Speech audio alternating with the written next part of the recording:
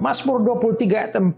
Sekalipun aku berjalan dalam lembah kekelaman, aku tidak takut bahaya sebab engkau besertaku.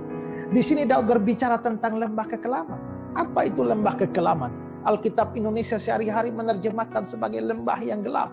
Tapi dalam bahasa Ibrani-nya, Gait Salmafet, itu lebih tepat diterjemahkan sebagai lembah kematian atau lembah bayang-bayang maut. Lembah apakah ini? Ini menunjuk kepada sebuah lembah yang ada di perbukitan Bethlehem yang mengarah ke Laut Mati. Lembah ini sekarang dikenal sebagai Wadikel. Lembah itu sangat mengerikan. Kenapa? Karena dikelilingi oleh bukit-bukit batu yang sangat besar seperti di Grand Canyon. Dan pada zaman Alkitab, banyak binatang buas yang ada di tempat itu. Bahkan itu juga menjadi tempat tinggal dari para perampok yang ada di gua-gua di sepanjang lembah itu. Karenanya lembah ini merupakan lembah yang sangat menyeramkan dan menakutkan dan berbahaya apalagi kalau dilewati seorang diri.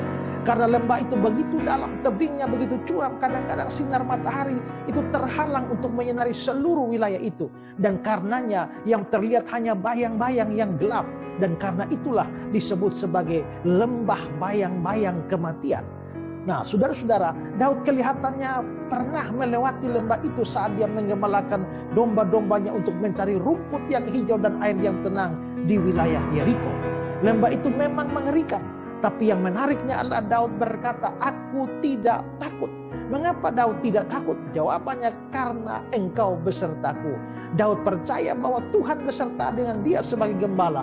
Itu membuat dia tidak perlu takut. Memang benar kalau Tuhan beserta dengan kita, apalagi yang perlu kita takutkan.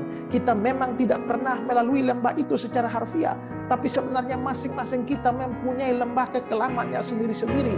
Yakni situasi hidup yang tidak enak, mengerikan, bahaya, ancaman, dan sebagainya tapi kesadaran bahwa Tuhan tidak meninggalkan kita, Dia tetap menyertai kita, itu memberikan keberanian kepada kita. Karena itu, jangan pernah takut menghadapi lembah kekelaman hidupmu, karena Tuhan gembalamu itu tidak pernah meninggalkan kamu. Tapi sebaliknya, jikalau kamu tidak atau belum pernah mempunyai gembala yang menyertai kamu, maka segeralah percaya kepada Tuhan. Terimalah dia sebagai gembala pribadimu, maka dia akan menyertai kamu dan tidak akan pernah meninggalkan kamu. Ulangan 31 ayat yang ke-6.